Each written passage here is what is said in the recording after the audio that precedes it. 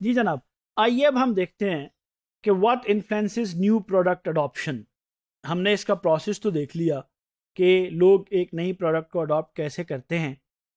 اب ہم یہ دیکھتے ہیں کہ وہ کون سے فیکٹرز ہیں۔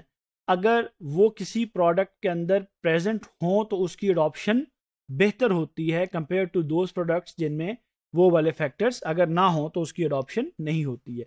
سب سے پہلی چیز تو یہ ہے کہ ریلیٹیو ایڈوانٹیج لوگ اس نئی پروڈکٹ کو ضرور قبول کرتے ہیں اڈاپٹ کرتے ہیں، جس کے بارے میں ان کو یہ یقین ہو یا ان کا یہ خیال ہو کہ یہ ایگزسٹنگ پروڈکٹس کی نسبت زیادہ بینیفیشل ہے جس طرح میں یہ کہتا ہوں کہ اگر ہائیبریڈ گاڑیاں مارکیٹ میں آ جاتی ہیں، تو لوگ ایگزسٹنگ پروڈکٹس کی نسبت ان کو اس لیے اڈاپٹ کر سکتے ہیں کہ جس طرح سے اگر آپ دیکھیں کہ انرجی ریسورسز ڈپلیٹ ہو رہے ہیں لوگوں کو لگتا ہے کہ یہ جو ہائیبریڈ گاڑی ہے، اس کا ریلیٹیو ایڈوانٹیج یہ ہے کہ ان کی جو کنزمپشن ہے، وہ بہتر ہوتی ہے۔ فیول اکانومی بہتر ہوتی ہے۔ تو ایک ریلیٹیو ایڈوانٹیج آپ نئی پروڈکٹ کے بارے میں ایک فیچر جو کنزیومرز کو بہت زیادہ انفلوئنس کرتا ہے کہ وہ اس کو اڈاپٹ کریں، وہ اس کا ریلیٹیو ایڈوانٹیج ہے۔ دوسری چیز ہے کمپیٹیبلٹی ایسی پروڈکٹس جلدی اڈاپٹ ہو جاتی ہیں جو کہ کنزیومر کے لیے ان کو استعمال کرنا آسان ہو یعنی وہ کمپیٹیبل ہوں۔ جو کرنٹ اس کا کنزیومر کے پاس جو چیزیں ہیں، جو کرنٹ ایگزسٹنگ ٹیکنالوجی ہے، اس سے اگر کسی ایسی کوئی ایسی چیز آپ لے لیں، جس کے لیے آپ کو اپنی ایگزسٹنگ انفراسٹرکچر میں تبدیلی کرنی پڑے، تو عام طور پہ کنزیومرس اس کے لیے تیار نہیں ہوتے ہیں۔ وہ اس پروڈکٹ کو جلدی قبول کر لیتے ہیں جو ایگزسٹنگ فیملی آف پروڈکٹس کے ساتھ زیادہ کمپیٹیبل ہو۔ جس کی کمپیٹیبلٹی جس کی سوٹیبلٹی آسان ہو۔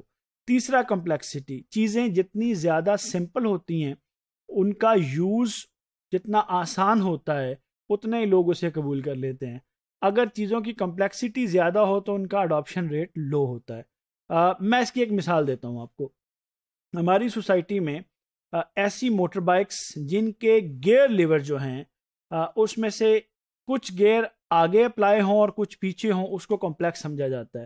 اور ایسی موٹر بائکس ہمارے سوسائٹی کے اندر زیادہ کامیاب نہیں ہوئیں۔ ہمارے ہاں زیادہ کامیاب وہ موٹر بائکس ہوئیں جن کے گیئر ایک ہی طرف سارے لگتے تھے۔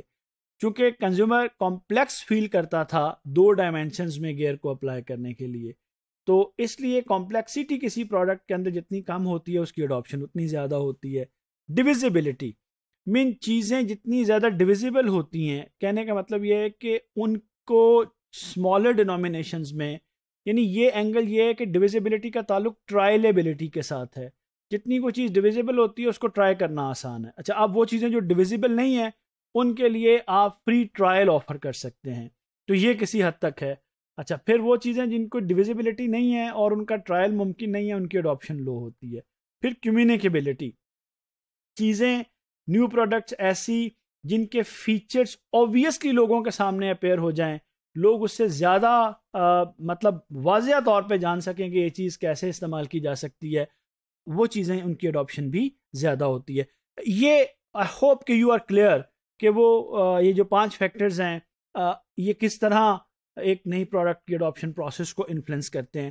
آئیے ہم نے اپنی جو ڈسکشن تھی کنزیومر بائر بیہیویئر کے بارے میں اس کو مکمل کر لی ہے آئیے ہم ریفرنس پوائنٹ کے لیے واپس اس ماڈل پہ چلتے ہیں، جہاں سے ہم نے اپنی گفتگو کو شروع کیا تھا اور دیکھتے ہیں کہ اب ہماری انڈرسٹینڈنگ کا لیول کیا ہے۔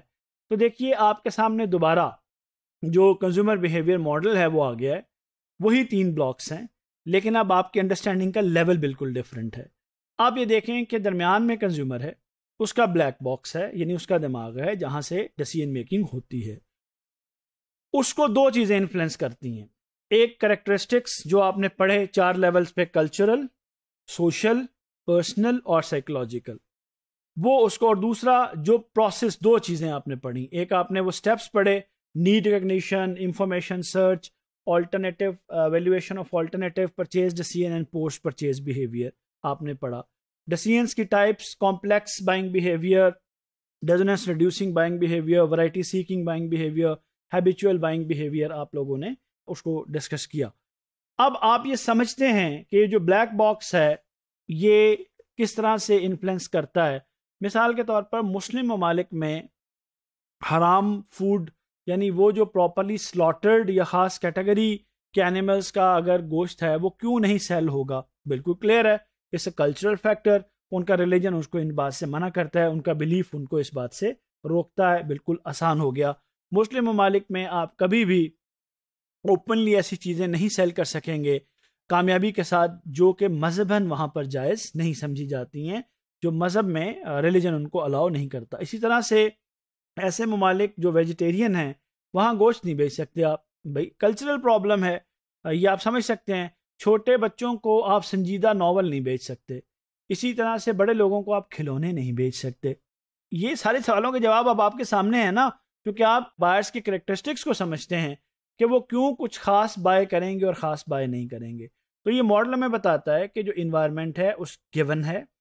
مارکیٹنگ والے اپنا مارکیٹنگ اسٹیملا بھیجتے ہیں اور پھر ان فیکٹرز کے بائرس کریکٹرسٹکس اور بائر ڈسین پروسیس کی روشنی میں بائر رسپانسز پروڈیوس کرتا ہے بائنگ ایٹیٹیوڈ ان پروڈیوسر اسے پروڈیوس ہوتے ہیں اور باقی چیزیں ہمارے سامنے آتی ہیں۔